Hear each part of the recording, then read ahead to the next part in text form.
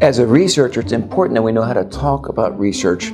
That's why Baylor has made these buttons. It's a great conversation starter. I'm here with my friend Juriel and uh, have an opportunity to talk about my research with him.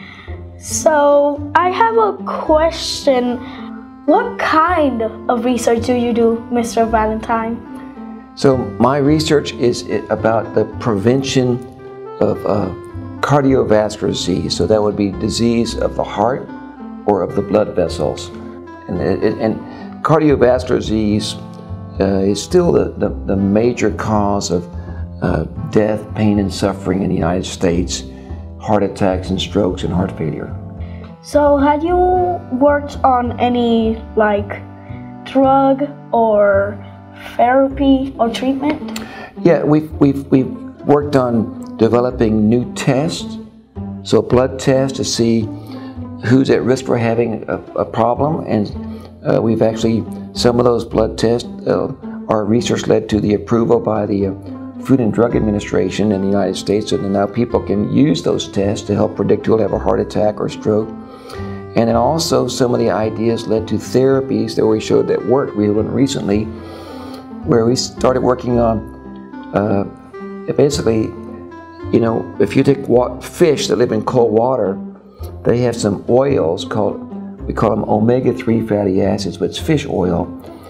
And we started studying them 20 years ago, and more recently we showed that a purified form of this can prevent heart attacks and strokes in people with high triglycerides. And uh, just uh, last month, that got approved by the FDA for a, uh, a new treatment to, to prevent heart attacks and strokes. When did you start your research? Uh, I started doing research uh, when I was a resident, my first project, and that uh, I actually did one in medical school uh, with it. So, and uh, uh, did small projects, and then I got involved seriously afterwards. But sometimes you, so like right now, you're doing some health projects. So you start with some ideas, and then later on, you go into a pathway which might be a studying science and uh, decide to go to medical school. There's all kinds of other schools. Uh, there's uh, nursing and pharmacy and many other fields that are health related. So people can pursue health careers uh, with all types of educa educational opportunities. What's your favorite thing about being a researcher? Well, one of the things is uh, you get to work with a lot of smart people.